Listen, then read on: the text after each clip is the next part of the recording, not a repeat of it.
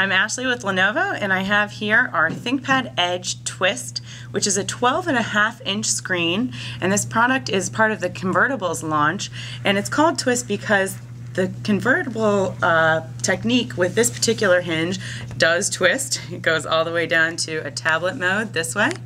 Can also do our stand mode this way. Can even go to tent mode like this.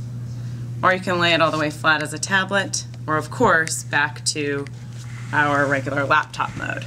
This particular one, we have a really nice display here that has five finger touch, an IPS panel, and it's super bright with 350 nits.